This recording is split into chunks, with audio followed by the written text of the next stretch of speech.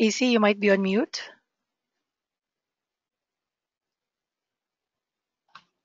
Thank you. Good morning, good afternoon, everyone.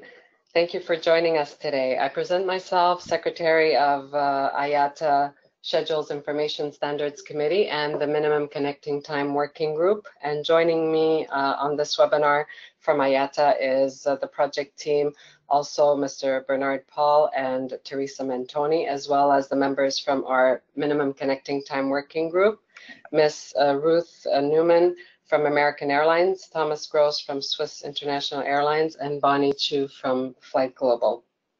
Also representing the data aggregator. A new minimum connecting time standard has been defined and adopted by the industry um, for airline processes and managing MCT and facilitating the presentation, application, and transmission of MCTs between the airlines, data aggregators, GDSs, and IT providers. As this new standard will impact stakeholders globally, we hope this webinar will help you get a better understanding of the new standard on your scheduling activity and processes. Of course, um, please feel free to ask questions uh, during each slide, we will uh, take uh, your questions and try to answer them as well as we go along throughout the presentation.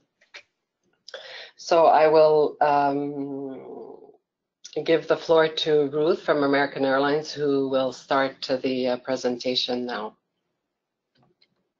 Hello, everybody. I was going to say good morning, but for most of you, it's afternoon. So um, we'll just say happy Thursday. Um, many of us on the working group, I guess we've been doing this almost, well, I guess it'll be three years coming up pretty soon. And we've been working very hard to come up with a standard that will help not just the airlines, but also the aggregators and the processing systems um, determine minimum connecting times much easier. Um, what we've done is we've created a standard hierarchy so that airlines um, products will be sold the same across all platforms. So if you look up an itinerary in Sabre, you should also get the same itinerary in Navitaire or uh, Google or any of the other things. So um, that's what we're going to talk about today, and we'll show you what the key differences are and um, how we're going to get to October of 2019. Thank you, Ruth. I will just uh, start the presentation now. I'm just having some difficulties at the moment. So I appreciate uh, your patience just a few Easy. seconds. You might be showing the wrong slides.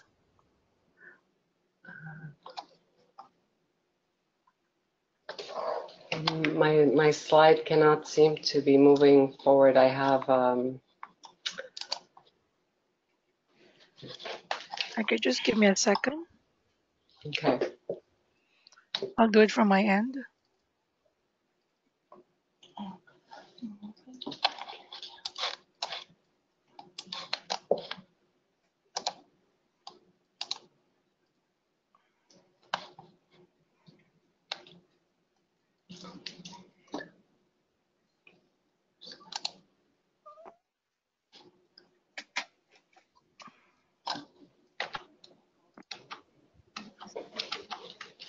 Just give me a sec.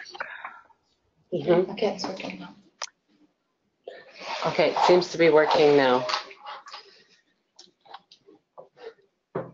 Can we try again, please?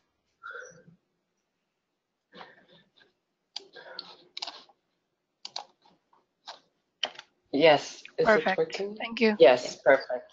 Thank you. Okay, thank you, Ruth. Hey, okay, we're back. we're back in business. Um, Thank you. I won't, I won't read these word for word. You guys can look at them, or maybe you already have. Um, what is really driving and what drove the start of this initiative was because um, we have not, as an industry, had a standard for MCTs.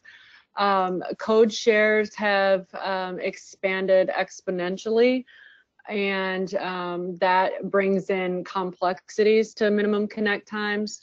Flight ranges, of course, all of the airlines have flight ranges. Some are used for operating, some are used for marketing, code share. So there's more complexity there. And then stations that have multiple terminals, that adds an additional layer of complexity. And because there's not a standard processing, the airlines are getting different results across various GDSs. So for example, I'll just give American as an example. Um, we may have one itinerary build on our website, aa.com, um, which is um, hosted by Google, and then um, our GDS platform is Sabre for our reservation system. So sometimes across those two platforms, we don't always have identical itineraries.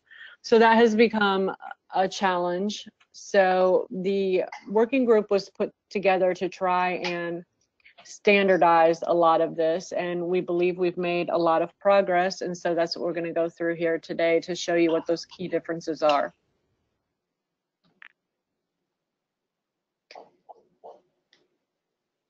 This this just explains some of what I've talked about as well. Izzy, can we go to um, the next slide, please? So this is some of the key um, items and how these problems affect our industry. Um, we have passengers and bags misconnecting, which as airlines, we all know that that um, costs us money. So we want to try and do whatever we can to eliminate some of that risk. Um, as I said earlier, with all of the complexities of minimum connect times with code shares and multiple terminals, um, the data's just really begun to get very complex. Um, there's also the uh, risk of errors and typos, um, even just um, a transformation or a typo of flight numbers, you know, reversing a flight number, that could cause um, that that has consequences if the wrong flight number is in the MCT. Um, what else? Uh, minimum connect times have also, some airlines use them for marketing connect times. And so those also come with certain risks and there's no standard. So however the airlines choose to use these, we've helped to make that much smoother for everyone. Any questions so far?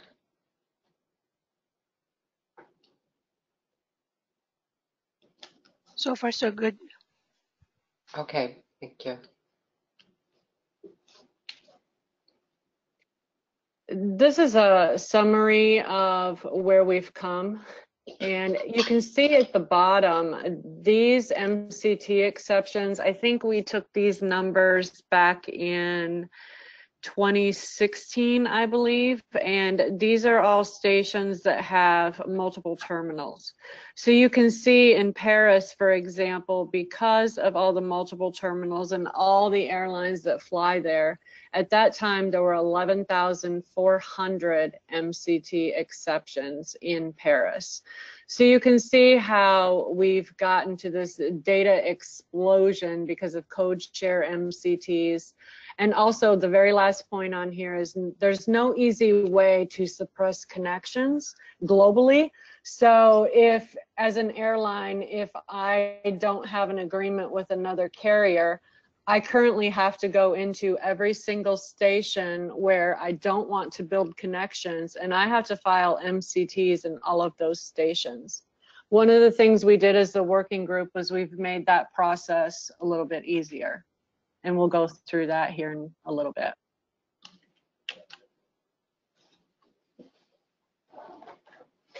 This is just more background information on how the why the working group was put together and what our goals were.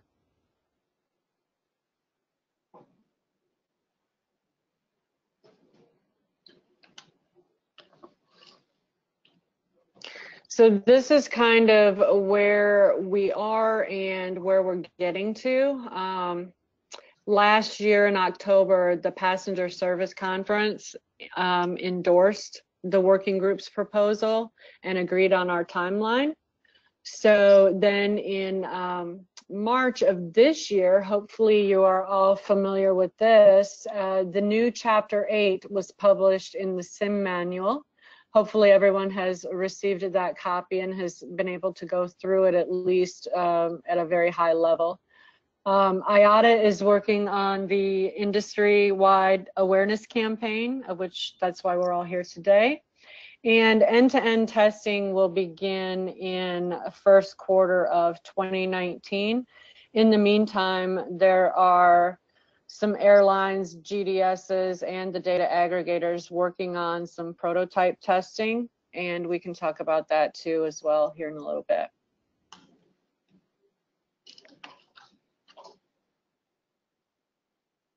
Now, how will we all benefit? I know this says airlines because obviously airlines are the key benefactor of this. However, it is going to help the um, GDSs and the data aggregators as well. But for the airlines, uh, a huge benefit to this is that we are going to get a consistent product across all booking channels.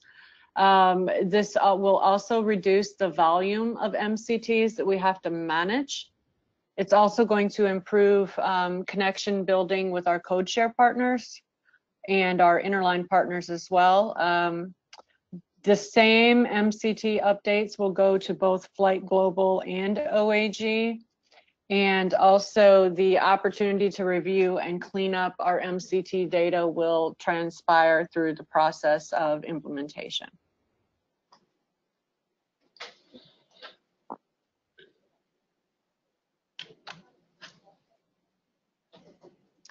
So what are the key changes? So geographical suppression, you could also say these are global suppressions. Um, what this means is that if you do not have an interline agreement with a carrier, what you're going to be able to do is create a, let's just call it a global suppression. And what that means is in every, you won't have to file an MCT suppression in every single station where you do not want to build connections. Uh, so for example, um, let's just say American and I'm trying to think of somebody, um, 9B, Deutsche Bahn. Uh, let's say that we do not have an interline connection. So what American can do is file a global suppression of AA to 9B and then 9B to AA. And what that's going to do is in every single station where AA and 9B um, travel, connections will not build there. But I don't have to go into Heathrow, for example, and file several MCT suppressions. I can just do it at the global level. So that is going to reduce the number of MCTs that we have to manage. There are actually new data fields to support code share.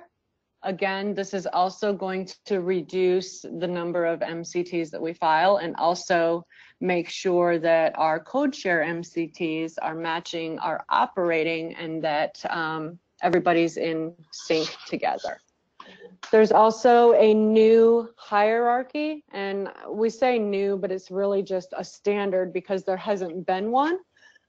Um, also, there's going to be a standard transmission for delivering the files to the GDSs and system providers.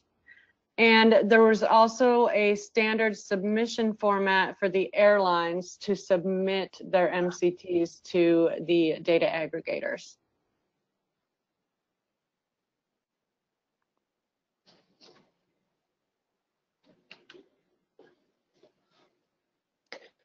So now we can talk about geographical suppressions again. Um, and this is just kind of a review of what I've already talked about.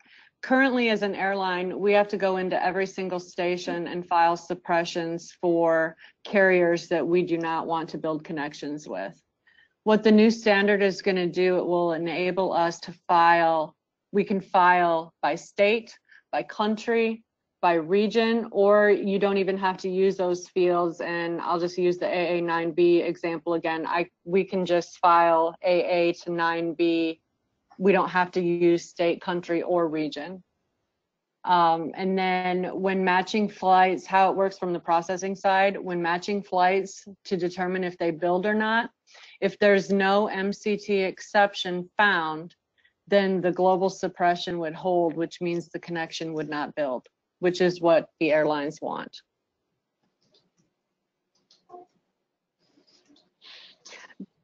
This is a big change. Um, are there any questions about this so far?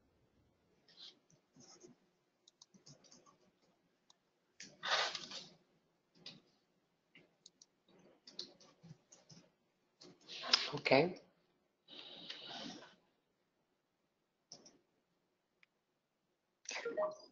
Here's just an example of one. So the top two lines, um, AA and VY, Vueling, do not typically interline.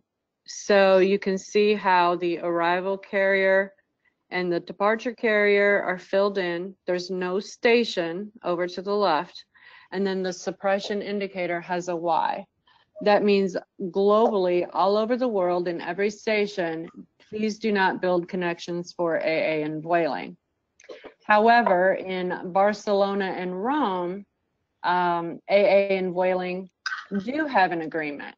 So in order to override that global suppression, the top two lines, we would file the bottom two lines. So in Barcelona, for example, we want two hours between AA and Vueling.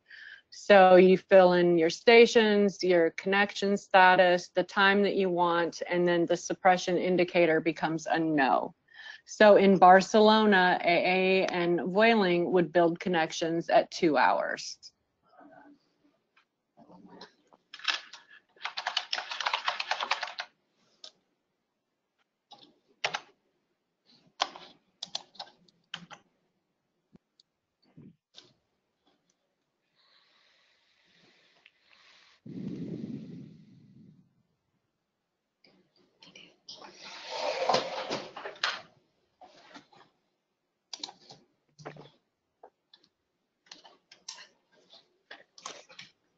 Here's another example, and why does it say under review? So you're going to see a few slides here that say under review. Um, I mentioned prototype testing a little bit ago. Several of us have been doing some prototype testing with the new um, fields and the new hierarchy. And we came across some issues, which is good because that's what the prototype testing is for. And so currently we are evaluating the carrier suppression indicator. Um, we are actually going to be recommending as a working group that that is removed.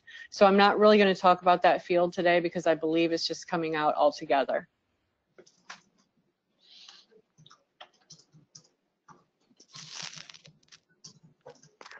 And the other big change that we have is for code share processing. Um, as an airline, we can now file MCTs for code share without specifying a flight range. So these are the new data fields that we've incorporated to um, work with the code share. You have the departure carrier, departure code share indicator, departure code share operating carrier, and then the same on the arrival side. And we'll show you what those uh, mean here. And we'll talk about those. So currently, as we all know, there's no ability to file an MCT when we are code sharing on someone else. The only way to do that is by flight numbers. And that makes the utilization of our flight numbers very inefficient because we always have to save a certain amount for our partners that we're marketing on. Um, here's just an example. Um, QF is Qantas is the marketing carrier. JQ um, Jetstar, I think, is uh, the operating carrier. So Qantas, with their flight ranges of 49.30 to 49.99, excuse me, is actually a Qantas flight, uh, Qantas marketed flight operated by Jetstar. That's what we have to do currently as airlines.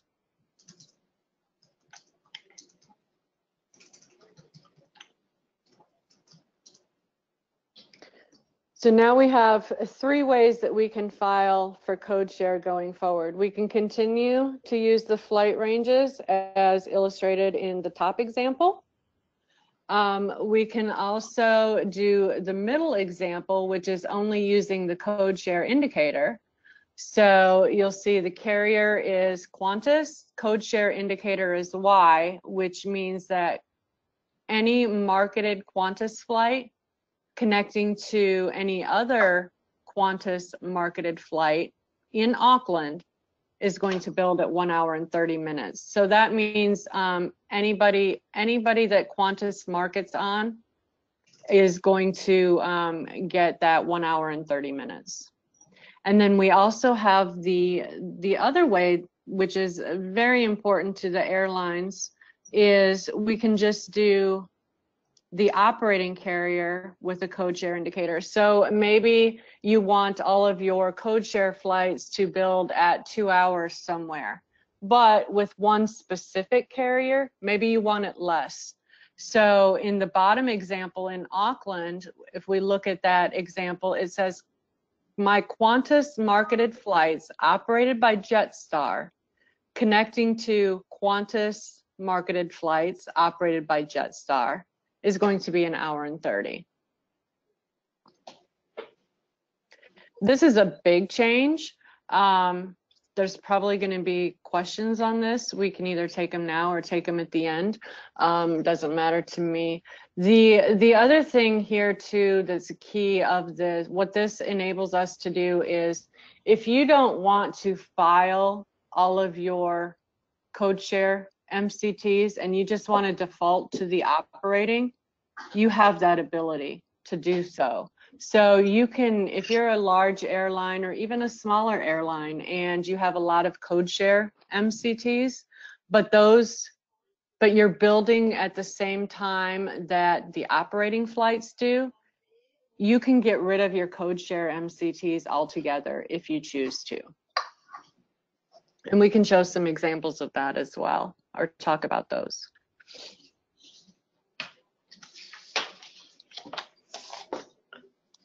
Are there any questions on this right now? So far, no questions. Okay. Thank you.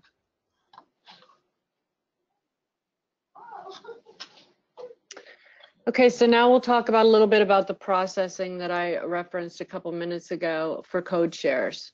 So we have, as a GDS processing system, even if you're an airline with internal processing systems, Code share going forward will be determined by the presence of a DEI 50 on the schedule. The DEI 50 on your flight schedule refers to the operating carrier. So processing is going to look for the DEI 50 on each flight leg and then um, go look. So if there's a DEI 50, it will look to match with a code share MCT where Y is specified in the code share indicator field. So what this is basically saying is that a marketing MCT exception will take priority over an operating. But if there's not a marketing MCT, if you're an airline that chooses to default to the operating, then the operating MCT is what would be used to build a marketing connection.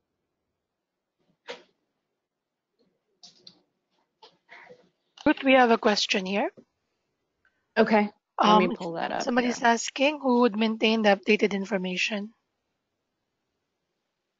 Um, who would maintain the updated information? What information specifically are we asking about here? Was type the question. Can you elaborate a bit more, please, by typing?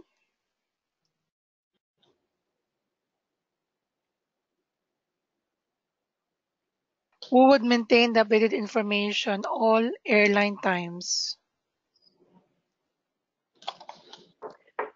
Guess I don't understand the question exactly. Um, the airlines are responsible for maintaining their MCTs just as we are today.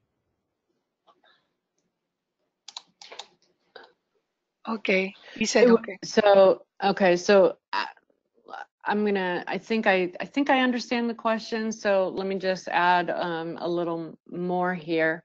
Um, Right now, we as airlines have to manage our code share MCTs by flight ranges. Going forward, if we choose to, we can remove those MCTs and let's say, for example, AA code share operated by BA connecting to AA operating. So it'd be AA, Y, BA connecting to AA. Um, for example, if American does not, if we just want to default to the operating, we would not file that code share MCT. We would just let the BA to AA operating MCT be used to build our code share connections with BA. Does that help?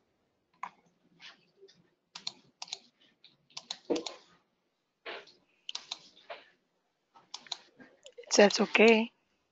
Okay. Okay. Okay.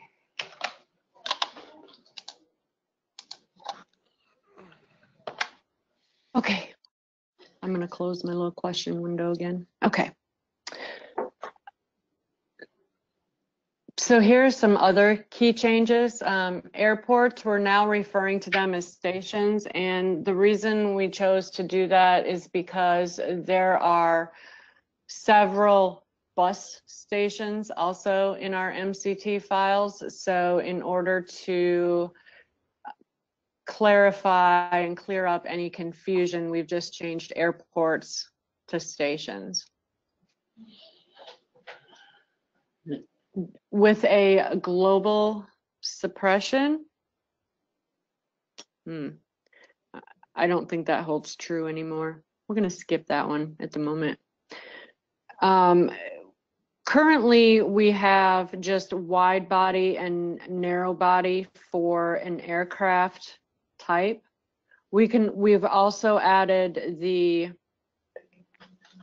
we've separated out wide and narrow body so that they can be done separately from a specific aircraft. Um, filing dates will be included in the file that comes from the aggregators. And also a submitting carrier identifier will be sent to the processing systems. Uh, Bonnie, I don't know if you want to comment on that a little bit further. Uh, I, I believe in the carrier's uh, submission files, the the submitting carrier information won't be included. So OAG and Flight Global will be the one um, populating the information in the file. And then that information will be included in the file we provided, say, to Sabre and, you know, OAG to Amadeus and other uh, service providers.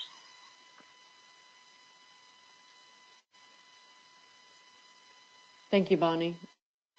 And then the, the last item here is that there will be a new, um, there, there will be a standard MCT filing template for airlines to use when they submit their MCTs to the data aggregators.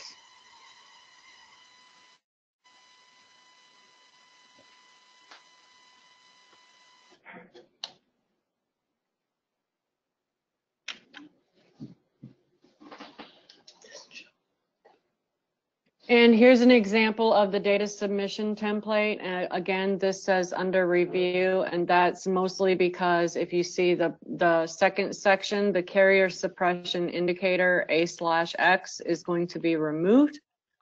So we will have an update to this probably within the next couple weeks.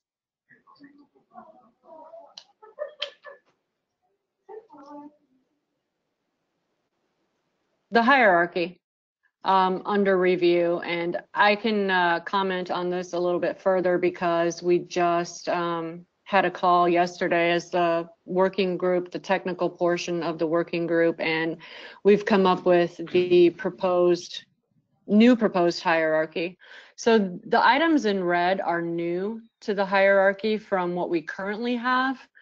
And basically, um, what we've done through, as I said, through prototype testing, we found some issues with MCT, with connections not building um, as the airlines expected them to. So we had to do a little bit of change to the hierarchy to make sure that connections were building like they we expected. So the only thing that's really changing here is that flight ranges are going to drop a little bit in the hierarchy. Other than that, most of this is still the same. Uh, again, we'll have an update within the next couple weeks for everyone. Any questions on the new fields?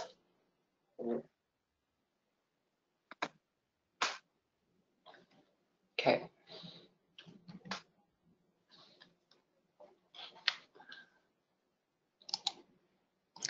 Here's an example of the change. Um, right now, with our current hierarchy that we have right now, MCT number one would apply here because there's a terminal on it. Um, even though MCT2 has both a flight, both departure and arrival flight ranges, because there's a terminal in MCT1 right now, that takes priority.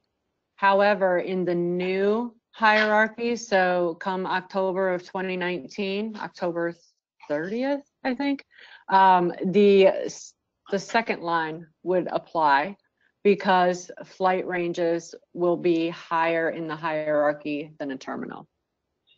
This is just one example of how the standard will change.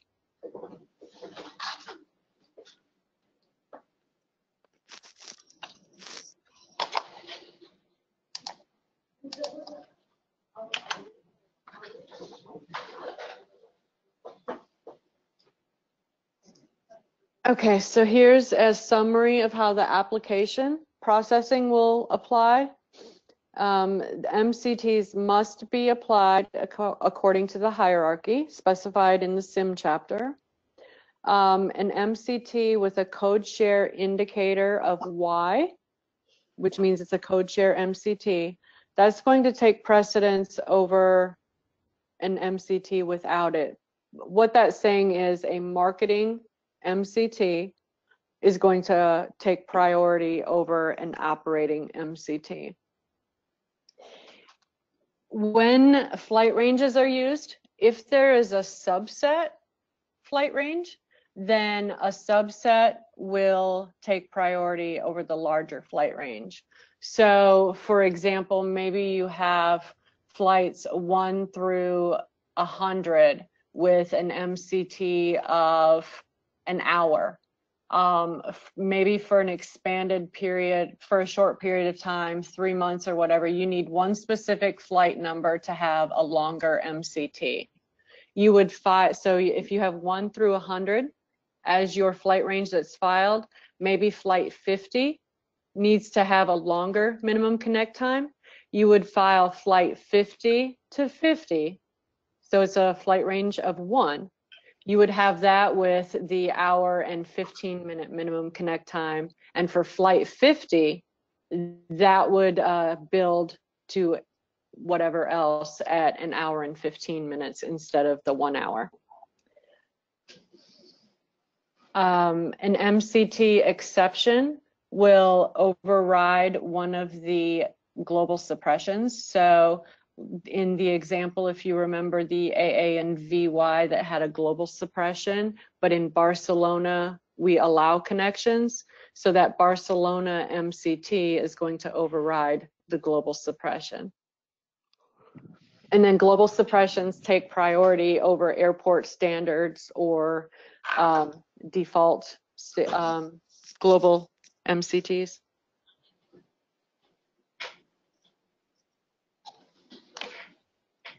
Are there any questions on this so far?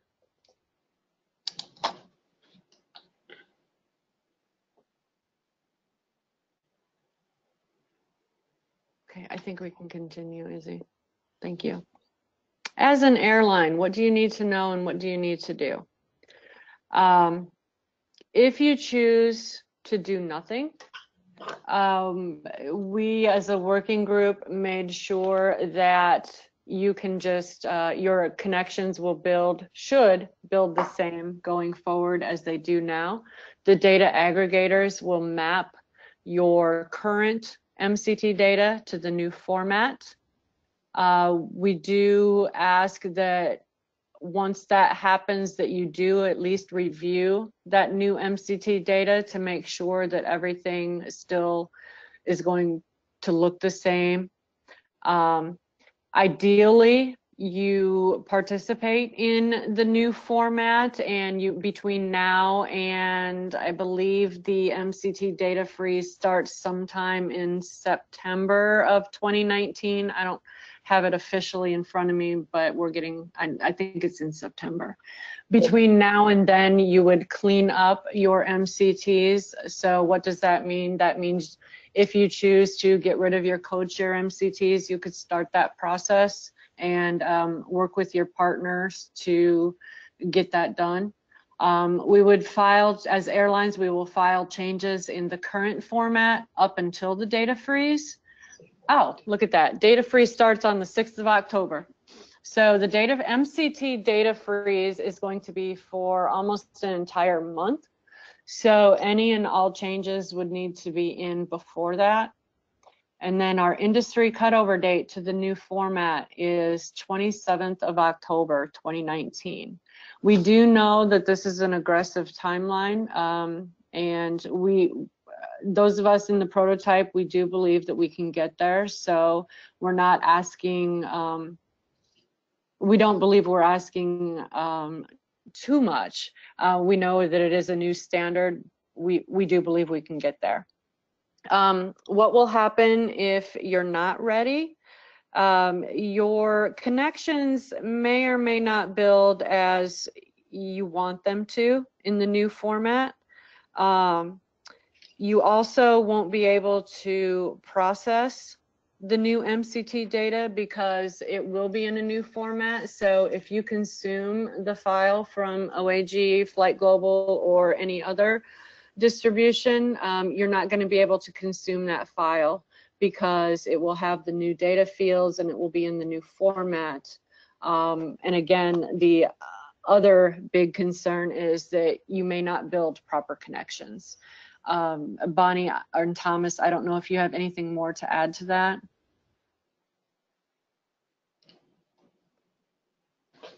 No, thank you. No, I don't have anything to add. Okay.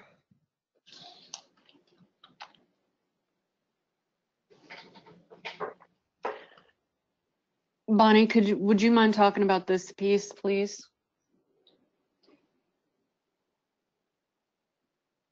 Uh, yes. So, um, next year, um, in January, uh, the data aggregators will uh, start mapping uh, the current MCT data into the new format for airlines. And so if you look at the first example, currently um, the MCT record look like this at uh, Auckland, 90 minutes D to D, QF to QF, and with uh, flight ranges on both sides. So in the new world, because now we introduced a um, code-share indicator Y, so this line will become four lines because we will add uh, data aggregator do not know for sure um, if your flight range numbers is for your marketing flights or for your operating flights. So what we will do is add a code-share indicator to um, your MCT. So if you see the um, lower left-hand side, the examples, the first line stays the same as the current MCT. And then on the second line, we'll add code-share indicator Y on the both arrival and departure side. And then the third line we'll add a Y to the arrival side. And then the fourth line we'll add a Y to the departure side. And when we do this will make sure that whether your um 49.30 to 49.99 range is an operating flight or marketing flight, uh, the an hour 30 minute MCT will be applied. And um, so as Ruth mentioned earlier, the uh, first example on the top of the page can also be filed as QF codeshare flights operated by JQ and then QF codeshare operated by JQ. So you no longer need to update your flight range numbers because now you're using uh, your codeshare partner's code JQ instead of the flight numbers. So, you know, when the flight number changed, there's no need to file a change to change your flight range numbers in your MCTs. Thank you, Bonnie. Um, so as an airline, if you, maybe you're a small airline and you only have a hundred MCTs, your hundred, if you choose not to do anything, your hundred is gonna go to four hundred. So, um, it's actually in our best interest as airlines to use this opportunity to go through our MCTs and ensure that we're getting rid of maybe things that we don't need. We can get rid of our flight ranges possibly. We can uh, get rid of our code share MCTs possibly. So as opposed to going from 100 to 400, maybe you can take that 100 and reduce it to 50 just an example. It it may not be that much that you can reduce it, but I would rather be maintaining 100 MCTs than 400. And yes, um, so as Ruth mentioned, in January next year, uh, after we converted um, the MCT data for airlines, we'll be uh, sending that information to each airline and asking you to uh, review them. So uh, if you see some of the MCTs no longer applied, uh, uh, we would like to um, get the updates from you, and so we can, you know, make sure that um, your MCT after conversion is clean and accurate. And Bonnie, correct me if I'm wrong, but the airlines have until the data freeze to do that. Is that correct? Correct. Okay, so once you receive your uh, MCTs from the data aggregators, you actually have up until October 6th, I think, to get those cleaned up. So you'll have a good nine months, maybe a little bit longer to work through those and get those cleaned up.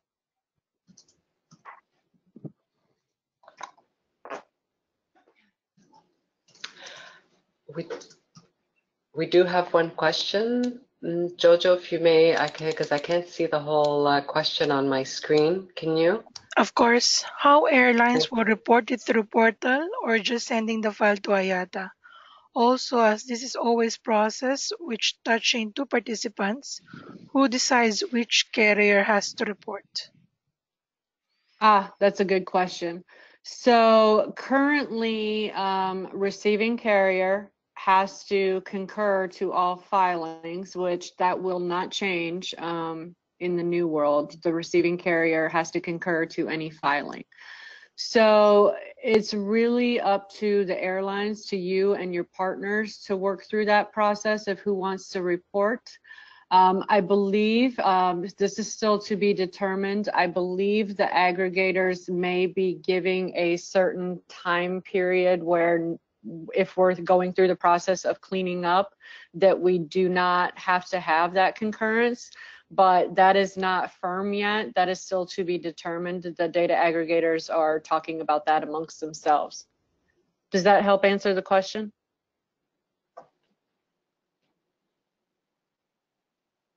Bonnie, anything to add as well from the data aggregator side? No, um, no, I don't have anything to add. Thank Okay. you, Z. Oh, I, I missed one part of your question, Vladimir. Sorry. Um, we will be cleaning up our MCTs and sending those back to the data aggregators, not to IATA. Correct. Yeah.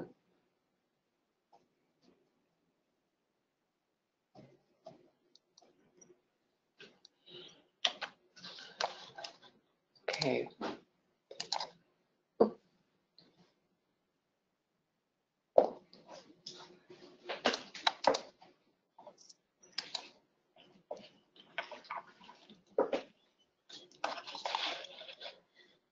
Oh, to all or just to one? Um, I, that is also still to be determined. Um, I believe the data aggregators are working on something to where we would just submit to one place and it would go to all. Um, I believe that is still be deter to be determined. Bonnie, do you have anything to add to that? Uh, yes, um, uh, from our last discussion, uh, it was um, agreed that um, uh, we will um, coordinate with OAG on the uh, concurrence process, which means uh, like right now, the airlines have to send their concurrence or their MCT filing to both Flight Global and OAG, and a lot of the airlines send them separately. So uh, going forward, we will have, we'll ask airlines a cooperation and start sending their filings and changes uh, to OAG and Flight Global in, on the same email. So, um, for example, uh, right now um, Europe is in the afternoon, and uh, OAG gets a filing from an European carrier, and which re require concurrence. Uh, when OAG gets that filing, and um, it was before um, say, U.S. Um, working time. So we're not in the office yet. So OAG will take over that filing and then send to the uh, carrier for concurrence. On that email, they will copy Flight Global. So Flight Global know, like when we start our day, that that email has been taken care of. We do not need to send the same concurrence request to the same airline. So as an airline, you won't receive the same concurrence request twice, once from OAG, once from Flight Global. And so for that airline who received the concurrence request, if they uh, agree to the filing, when they respond back, they will respond to both OAG and Flight Global on the same email, say whether they concur or deny. Then um, with uh, both uh, Flight Global and OAG will get the same information and update our database at the same time. So that kind of helps um, both uh, data aggregators stay in sync. So um, I hope that's clear. And uh, anybody have any questions?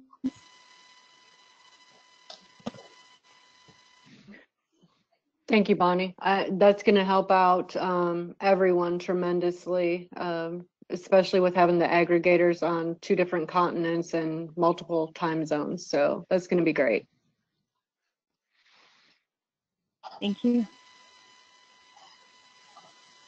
Okay, we'll talk about um, suppressions here briefly. Um, currently, we have 999 as an MCT suppression. Um, going forward, if you look at the bottom right hand of the screen, the 999 will no longer exist. Uh, there will be a Y in the suppression indicator field.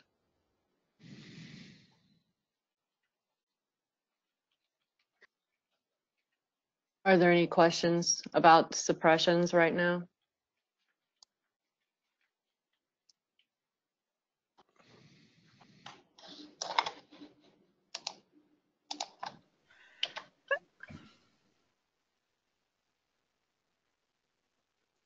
We've talked about this a little bit, the mapped MCT data, your one record becomes four because the aggregators do not know if our flight ranges are operating or code share.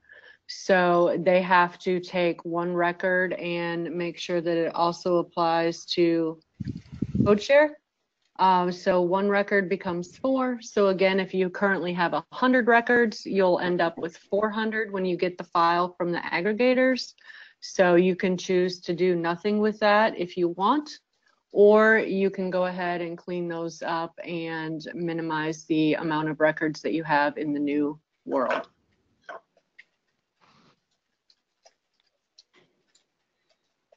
And the, the data aggregators will be available for help all throughout the cleanup process. They will be your resource. So here's our timetable for industry adoption. Um, we do know that it is aggressive. Right now, we are not anticipating any issues with this timeline. Those of us who are in the prototype testing, we feel comfortable that we will make it there. Um, where are we right now? The as of so the first data sample, which has three stations in it: Paris, Heathrow, and Frankfurt, I think. Um, Yes. That file is available for testing. Um, however, as of yesterday, that is going to change a little bit. So if you have that file right now, um, we ask that you just just hang on to it, but you will be there will be a new file available within the next couple weeks. Um, it isn't changing a whole lot. It will still be just the three stations, but because of the hierarchy change and removing one of the items in the hierarchy, the data set will change just a little bit. Um, we have on here September of 2018 that OAG would provide the full MCT file for testing. That um, is probably going to be at the earliest the end of September. That may get pushed to October. Again, we'll have more updates in within the next few weeks. Um, in January, the end of January, so we can call it February at this point, end-to-end testing begins up until October 6th of 2019. The new MCT data, um, once it's mapped by the aggregators, will be going out to the airlines. And again, you have until October 6th to work on those records and get them cleaned up. You can also participate in the end-to-end testing. Um, there will be more details on end-to-end testing as we get closer. Um, the 24th of March uh, is the first um, compliance testing results that will come out by IATA. I don't, Izzy, I don't know if you have anything to add to that right now. Not at this point, no. Okay. We'll provide, um, sorry, definitely we'll provide more details on the end-to-end testing and the compliance testings as we get closer to those dates. Um, the important things uh, out of this timeline are obviously the cutover date, which is 27th of October, the end of the, or the start of the winter IATA season. Um, the data freeze, which starts on October 6th, and that will go through November 3rd. What does that mean? It means no MCT records will be, um, the MCT file will not change between that time period. So any MCT submissions that you might file will be held until November for processing. Um, and then what else on here? The aggregators will start uh, sending out new MCT data probably somewhere in February. And the final day of MCT distribution in the current format is October 26th. That will be the last time that you will receive a MCT file in the current format. After that, it will be in the new format. So again, if you're not ready to consume that file, you would not be able to process connections properly going forward. Thank you, Ruth.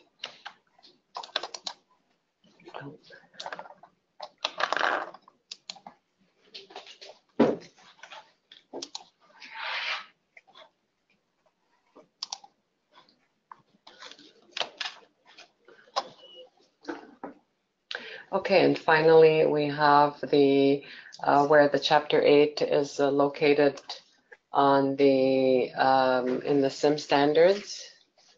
Oh, we don't have, okay, I'm told that you're not seeing my okay. screen, yes? Okay.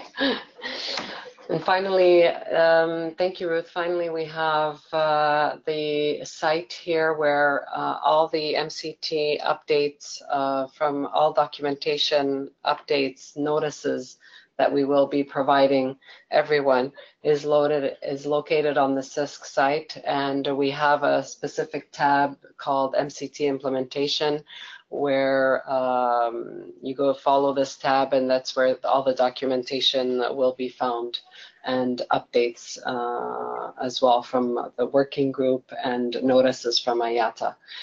Any questions moving forward, please uh, send to sim@iata.org. And in fact, we have received some questions uh, during registration, which I'd like to uh, proceed with. But before I do so, any questions um, from the floor at the moment?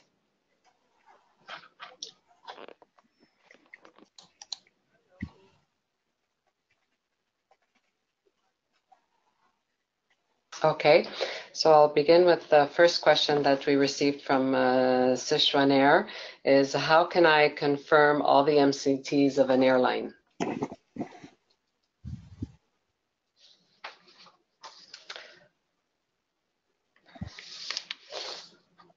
Ruth, are you happy to answer that question? Um, I'll take a, I'll take a stab at it. I think the question is how do I know what other airlines are filing for MCTs? Does that sound right? That's what I, yeah. Um, right now, unless you are consuming the full MCT file for your own processing, I'm not sure that there is a way. Um, however, with that being said, um, when the full MCT file comes out for from the aggregators for Right. end-to-end testing, you will be able to go through that and look at them there.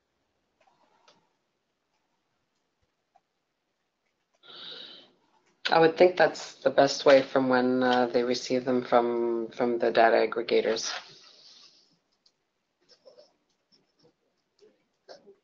Yeah, because the other way would be very, very manual uh, to have to go through whatever um, pro, uh, system you have, reservation system, you'd have to go through manually and look them all up. Be very time consuming. Yeah. Okay. Okay, and uh, the question, there's a few questions from LL. Um, are the current MCTs displayed going to be changed in Sabre and or Amadeus? So of course this is uh, yes. Yes, um, a technical working group, so they will be um, obviously complying with the new standard. So yes, new MCTs will be changed across every GDS system. Second question is who will transfer the current MCT exceptions to the new MCT template and when will it happen? So I think, I believe this was answered in this uh, webinar that we can respond to. Yeah, so two parts to that question, I think. The Yes. the MCT template for filing MCT exceptions, that will be used um, starting in the new world. Um, as far as the mapping of the MCTs, that that's not going to have to be done by the airlines. The aggregators will be doing that and they will be mapping to the um, just to a normal like Excel spreadsheet. It will be in the new format, but it will not be on a template per se. I think I answered that question. I think. Mhm. Yes. Thank you, Pedro. Thank you. Yes. And uh, third uh, question is, please explain the testing process. What am I expected to do? How will the testing be performed? On which platform? Um, I can answer some of that initially. We don't have a full test plan per se yet for end-to-end testing. Um, there will be a test plan. The airlines that are involved in the uh, working group will be putting together test cases on a test plan. Um, as far as I think what you Oh, sorry. I heard some background. I thought somebody was gonna jump in. Um, so I can tell you what some of us are doing right now. You know, we've got, we're programming s- y- the new logic for the hierarchy and we're doing some of our own testing amongst ourselves. So American has been testing with Lufthansa systems and um, who else? Uh, Travelport and ITA. Um, it's really up to you within your organization how you want to test. Um, if your products are sold everywhere, you may want to test across all platforms. You may only want to test with your current provider. It's really up to you as your own organization. There will be a test plan available um, as we go forward if you want to use that. If you want to create your own test cases, um, again, there will be more further details as we get closer to end-to-end testing. Hope that helps. Yes. Okay, and finally, am I going to have a supporter throughout the testing period?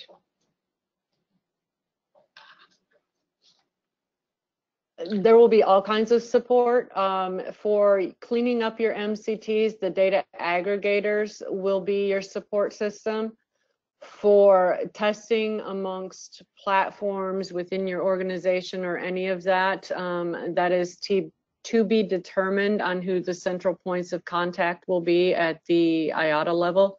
We'll work on that and make sure that we have that available to all testing participants. Yes. Correct, thank you.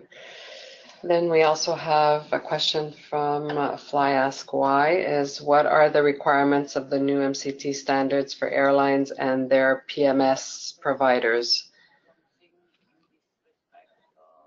So I believe we can ask, uh, we can um, answer this well through the uh, chapter eight, if they, they, they review the chapter eight uh, requirements for the format and the procedures. Sorry, what's PMS mean? Bernard?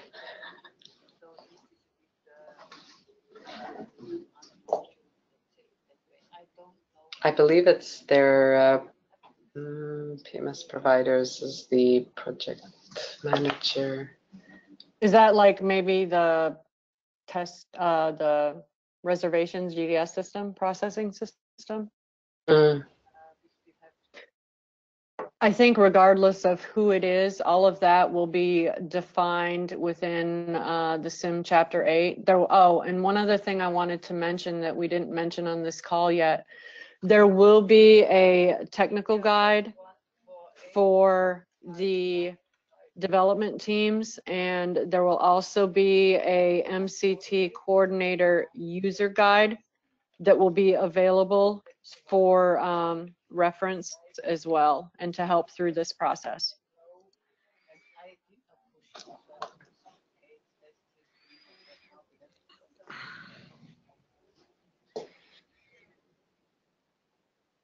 Okay, and finally, we have from uh, Gemener is as an air company, how to cut over from current MCT to MCT new standards smoothly without affecting the business. Any suggestions uh, from uh, from you, Ruth, from airline to airline? Smoothly without impact to the business. Well, um, the goal is to make it as smooth as possible. Um, obviously, with any development project, there is some risk involved, and we as airlines have to mitigate that risk as much as we can.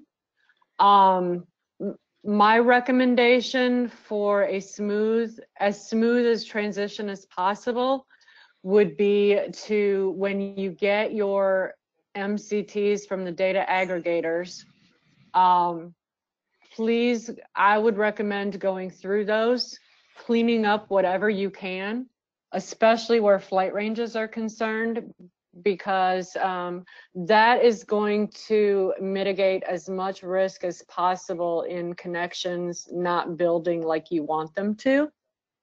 Um, from the development side, risk, um, again, you know, it's it's really up to each individual organization to come up with a plan in how they're going to mitigate as much risk as possible. Um, from the business side, though, my my recommendation is that you clean up your MCTs, work with your partners to ensure that they're cleaning up theirs as well, and that you guys are aligned on MCTs. That's really going to help mitigate as much risk as possible for the business.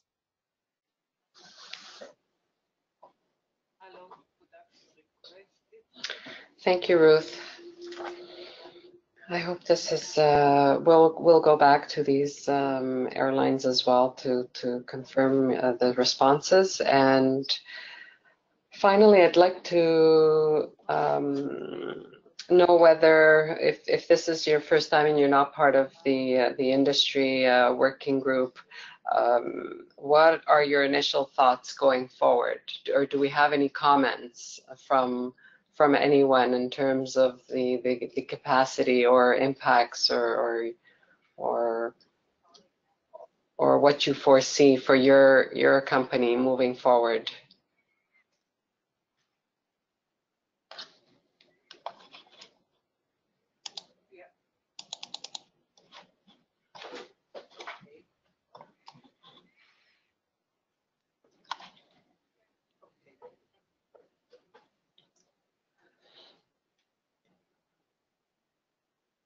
Okay.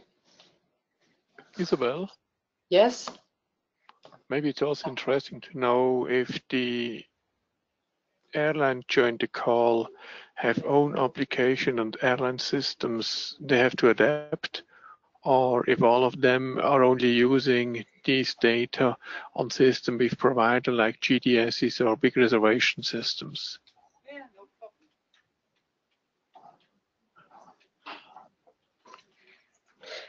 Okay, so you're you're asking the airlines on on the on the call today uh, whether they're using the their own or big uh, big big uh, GDS systems. Is this was this your question? Yes, thank you. Thank you. Yeah, just to expand on what Thomas um, is asking, I guess the, the big question is, eh, as an airline, are you consuming a full MCT data file for your own internal systems and processing? Or are you just uh, using everything from uh, another provider?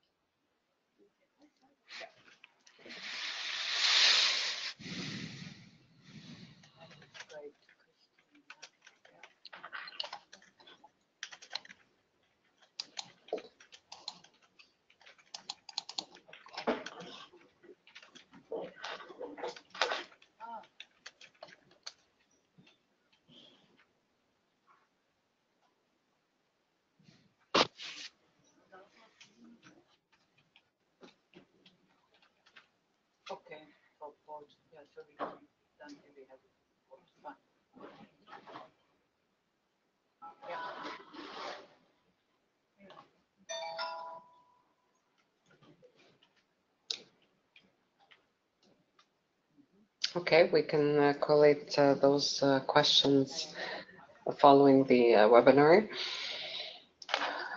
Are there any questions, other uh, concerns or uh, remarks or questions at this time before we close the, the this webcast?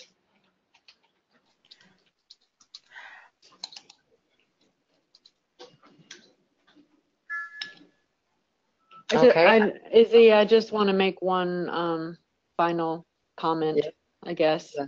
Um, as I said yesterday, or as I earlier in the call, um, yesterday the technical portion of the working group got together and we are making some uh, changes to the hierarchy.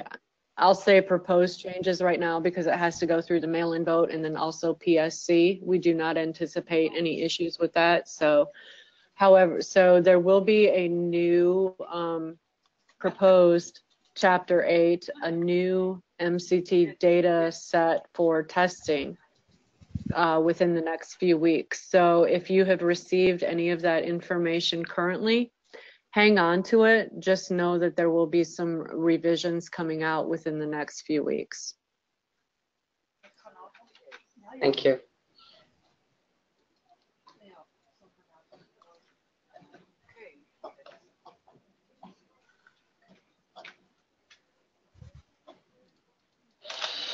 Okay, I'd like to take this time to thank uh, Ruth and Thomas and uh, Bonnie on uh, this call and uh, everyone uh, here that's uh, attended. I hope this has been useful and has helped you understand a little bit more of what we are trying to achieve in an industry level. And please, as we've mentioned throughout the whole webcast, questions are always and more than welcomed uh, and concerns uh, regarding regarding this uh, project for this year and next year, and we will certainly keep you posted through our SISC page throughout the whole process. So the support is is enormous, and everyone is engaged uh, with the support of uh, our working group uh, stakeholders. So uh, no one will be alone in this, and we will uh, try to ensure that uh, uh everyone is uh, well taken care of during this whole transition. So thank you, everyone, and have a great day. Thank you.